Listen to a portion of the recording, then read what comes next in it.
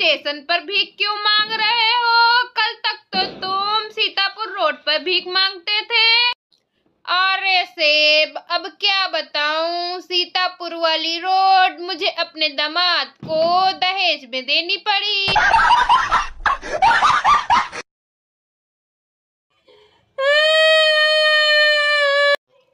मेरा बेटा क्यों रो रहा है बेटा बनाना खाओगे?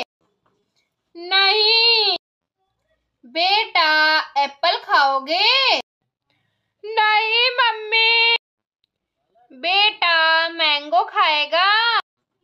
नहीं, मम्मी, मैं मैंगो भी नहीं खाऊँगा।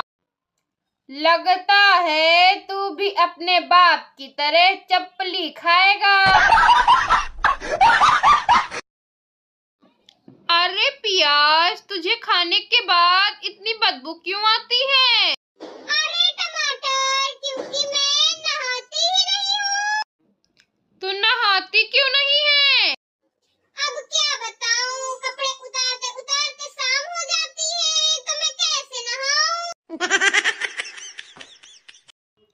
अगर आप लोगों को मेरा ये वीडियो पसंद आया हो तो लाइक करें कमेंट करें और चैनल को सब्सक्राइब ज़रूर कर लें। साथ ही बेल आइकन को भी दबा दें।